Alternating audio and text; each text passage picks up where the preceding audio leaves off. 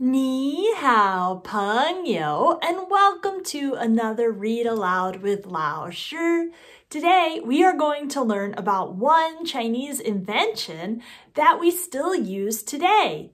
You know, in China, many years ago, they came up with the first of several different things that we use today, including paper making, the first calculator called an abacus, a compass to help you find your way, and kites. Today, we are going to read the story of kites, how kites were invented in China many years ago. The Story of Kites by Ying Chang Compestine. Illustrated by Yongsheng Xuan. Long ago in China, children worked in the rice fields during the harvest season. The three Kong boys, Ting, Pan, and Kwai, marched through the fields, blew whistles, and banged pots and pans to scare away the birds. Twee! Bang! Clang! Pan stopped banging. I need a break to do my math homework. Why do the birds always eat our rice? Ting asked. Because they're hungry like me, and if I had wings, I would chase these birds away in the sky.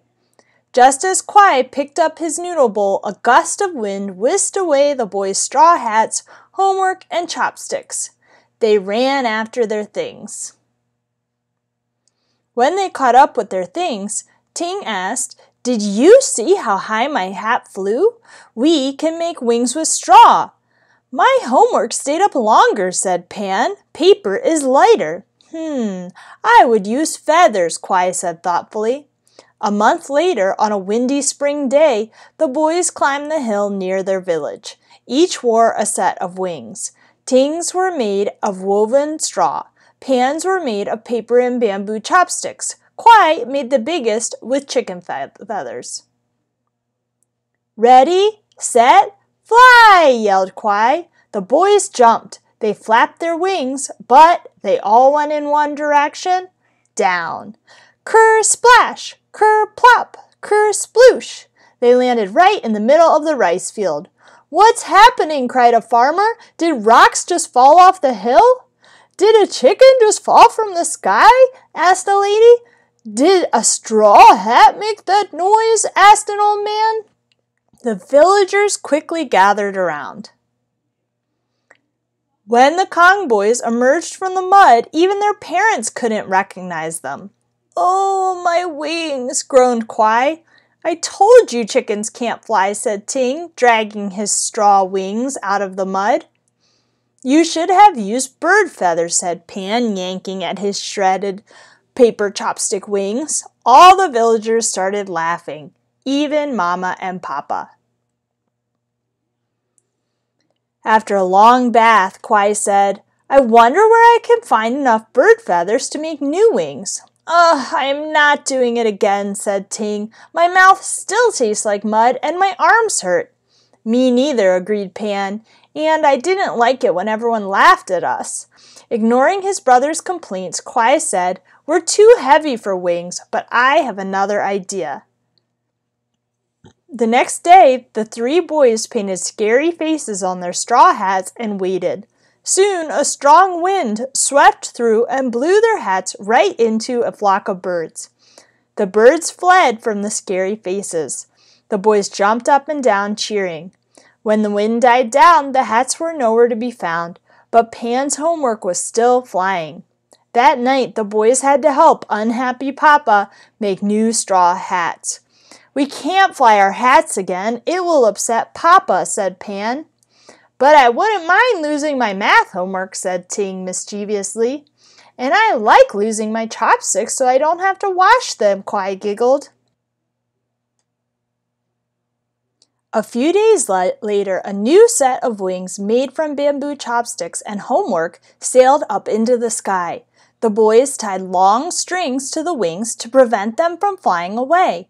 The wings startled the birds for a while, but they soon grew used to them and ignored the wings. Boys, yelled Mamma, the birds are eating our rice. Keep blowing and banging. We need to make our wings scarier. Kwai started banging on a pot. I know what we can do. Pan picked up a whistle.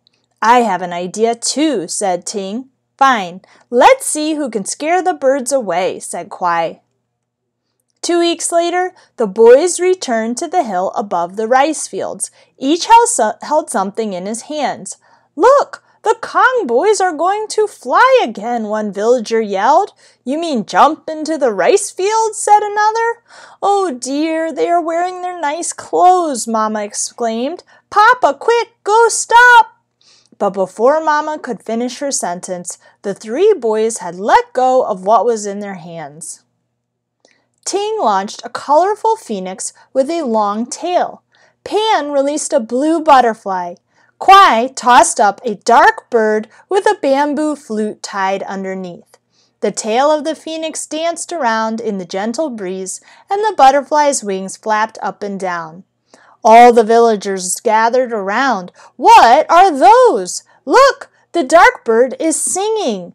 Ho, the wind is playing the dark bird's flute. The birds all flew away. Mama and Papa ran up the hill and the villagers followed. They saw that the boys had tied their inventions to a tree and were laughing and eating long life noodles. What are those things in the sky? asked an old man. Kwai stood up and said, They are meant to scare away the birds so we don't have to blow whistles or bang pots and pans anymore. What are they called? asked another villager. Ting and Pan looked at Kwai.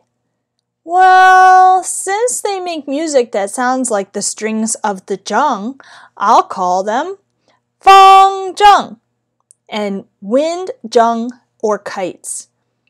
You have to teach us how to make them, said the old man. The Kong family opened the very first kite factory in China. They made kites of all colors and shapes. Better yet, no more birds came to eat their village's rice because the sky was full of kites, dragons, fish, flying tigers, and phoenixes.